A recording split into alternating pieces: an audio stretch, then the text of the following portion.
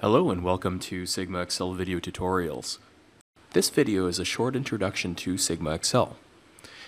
It's primarily geared towards new users and can be used for insight on how to use this amazing program. SigmaXL is a powerful but easy to use Excel add-in that will enable you to measure, analyze, improve, and control your service, transactional, and manufacturing processes. This is the ideal cost-effective tool for Six Sigma green belts and black belts, quality and business professionals, engineers, and managers. SigmaXL will help you in your problem solving and process improvement efforts by enabling you to easily slice and dice your data, quickly separating the vital few factors from the trivial many. This tool will also help you to identify and validate root causes and sources of variation, which then helps to ensure that you develop permanent corrective actions and or improvements. For example, here's a demonstration of a basic Pareto chart used on customer satisfaction scores. This chart clearly demonstrates major complaints. SigmaXL utilizes the y equals f of x model in its dialog boxes. y denotes a key process output metric, x denotes a key process input metric. The mathematical expression for y equals f of x denotes that a variable y is a function of x. y can also be viewed as the effect of interest and x is the cause.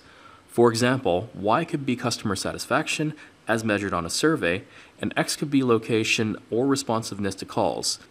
The goal is to figure out which x's from among many possible are the key x's and to what extent do they impact the y's of interest. Solutions and improvements then focus on those key x's. X and Y metrics can each be continuous or discrete. A continuous measure will have readings on a continuous scale where midpoint has meaning.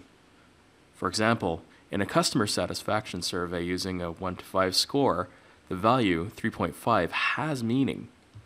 Other examples of continuous measures include cycle time, thickness, and weight. A discrete measure is categorical in nature. If we have customer types 1, 2, and 3, customer type 1.5 has no meaning. Other examples of discrete measures include defect counts and number of customer complaints. It is possible to have various combinations of discrete and continuous x's and discrete and continuous y's. Here are some examples. It's important to note that in SigmaXL, a discrete x can be text or numeric, but a continuous x must be numeric. y's must be numeric. If y is discrete, count data will be required. If the data of interest is discrete text, it should be referenced as x1, and SigmaXL will automatically search through the text data to obtain a count. SigmaXL can accommodate two data formats, either stacked column and unstacked multiple column.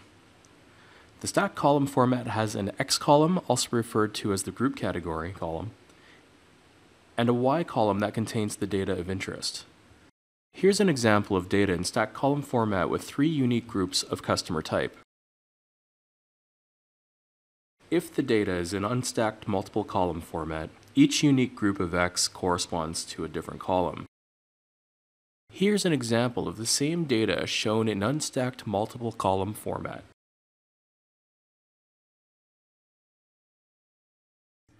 SigmaXL's summary of graphical tools are Pareto charts, pivot charts, histograms, dot plots, box plots, normal probability plots, run charts, multivary charts, scatter plots, analysis of means, control charts,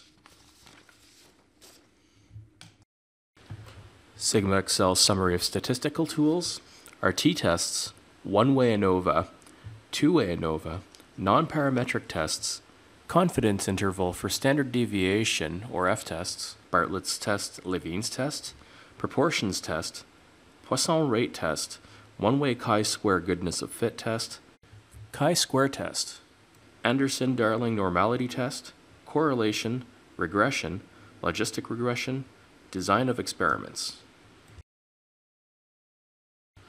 This concludes the Introduction to SigmaXL tutorial video. For more videos, join us at www.sigmaxl.com or join us at our YouTube page. Thank you for watching.